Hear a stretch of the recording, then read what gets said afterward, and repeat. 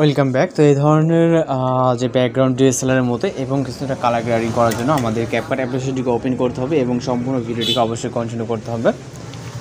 তো এখান থেকে হচ্ছে আমরা নিউ প্রজেক্ট অপশনে ক্লিক করব এবং এখান থেকে হচ্ছে আমরা একটি নর্মাল ভিডিওকে সিলেক্ট করে অ্যাড অপশনে ক্লিক করব। এরপর হচ্ছে এখান থেকে আমরা আমাদের ভিডিওটিকে প্লে করে দেখব। এখানে কিন্তু আমাদের ব্যাকগ্রাউন্ডে ব্লার বা কোনো রকম কালার গ্রেডিং কিন্তু নাই।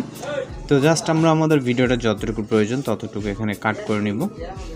ওকে এখানে যতটুকু লাগবে ততটুকু আপনি আপনার ভিডিওটাকে কাট করে নেবেন। নেওয়ার পর আমরা চলে যাব ভিডিওর স্টার পজিশনে যাওয়ার পর এখান থেকে আমরা অ্যাডজাস্টে ক্লিক করব। ব্রাইটনেসে ক্লিক করবেন। ব্রাইটনেস আপনি আপনার মতো করে অ্যাডজাস্টমেন্ট করে নেবেন যতটুকু প্রয়োজন হয়। ওকে এবং এখান থেকে আমরা যে স্যাচুরেশনটা আছে, এটা আমরা কিছুটা হাই করে নেব, সামান্য পরিমাণে। এবং এইচএসএল যে ক্যাটাগরিটা আছে মানে টুলসটা আছে, এখানে যাব, যাওয়ার পর গ্রিন কালারে ক্লিক করব। হয়ে এবং স্যাচুরেশনটাকে আমরা ফুল করে দিব। তারপর যে লুমিনেন্সটা এটা আমরা কিছুটা কমিয়ে নিব ওকে সামান্যটা। এবং গ্রিন কালার সরি ইয়েলো কালারে ক্লিক করে এটাকে সেমভাবে আমরা স্যাচুরেশন এবং ওয়েটাকে বাড়িয়ে নিয়ে লুমিনেটাকে সামান্য কম লুমিনেন্সটাকে সামান্য কমিয়ে দেবে এবং টিক অপশনে ক্লিক করব।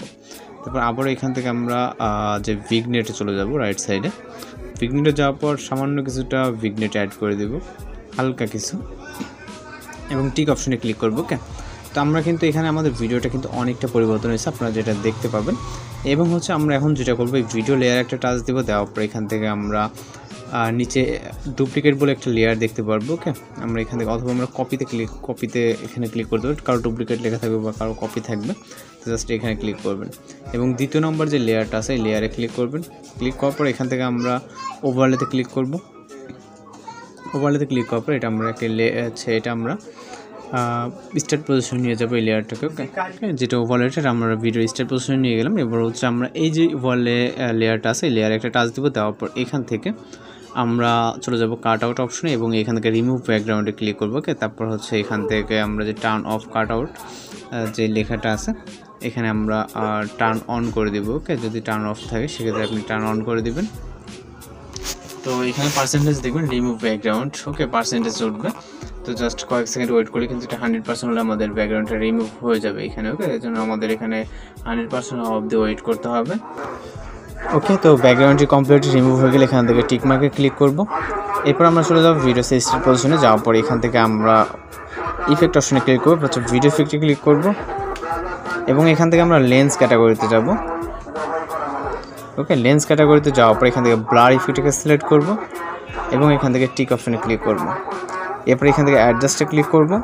ব্লারটাকে আমরা টেন বা এর মানে আপনি আপনার ভিডিও অ্যাডজাস্ট অনুযায়ী রাখবেন, রাখার পর টিক অপশনে ক্লিক করবেন।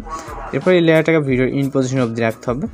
এখন যদি আমরা ভিডিওটাকে প্লে করি, এখানে কিন্তু দেখতে পাচ্ছেন কালার গ্রেডিং তারপর হচ্ছে আপনার ব্লার এই হচ্ছে ডিএসএলআরের মতো যেটা সব কিছু কিন্তু একদম পারফেক্টলি আছে ওকে তো এখন জাস্ট আমরা ভিডিওটাকে সেভ করার জন্য ভিডিও রেজুলেশন হাজার আসতে রাখব, রাখার পর এখান থেকে এক্সপোর্ট অপশানে ক্লিক করলে আমাদের ভিডিওটা কিন্তু লোডিংয়ে সেভ হয়ে যাবে। চাইলে আপনি সাউন্ড অ্যাড বা আপনি আপনার মতো করে কাস্টমাইজ করে নিতে পারবেন। তো এভাবে এই ধরনের ভিডিওগুলো খুব সহজে এডিটিং করতে পারবেন। তো আজকে ভিডিও টিউটোরিয়াল এই পর্যন্ত দেখা হচ্ছে। পারবে তো কোনো ভিডিওতে সবাই ভালো থাকবেন, সুস্থ থাকবেন।